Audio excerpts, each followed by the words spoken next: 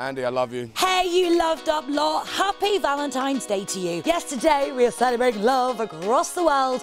Although for you single people, it's probably going to be a bit more like this. I just don't understand why he doesn't love me anymore. Flowers, oh, chocolates, oh, more flowers. we met in that McDonald's, I think it was about five years ago now. You bought me that uh, Mc McFillip. Can I order uh, the extra large margarita? Uh, yeah, yeah, just one. Bye.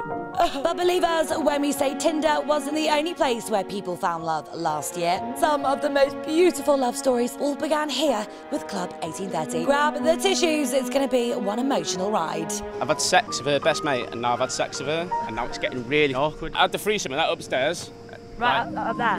About a minute and a half, and then I, I ran off because I got really scared. sorry, Mum. I'm sorry, Dad. Sex with the hobbits!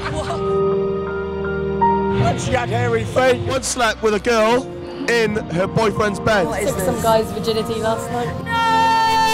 No, you didn't. One thing happened, two thing happened. I'm at a hotel. It lasted four minutes. four minutes. Four minutes. This was not in a bedroom. This was in a balcony. 170. 170. 170. He's a virgin. Oh, are you a virgin? Don't worry. It's gonna be okay. No. It's gonna be okay. Oh,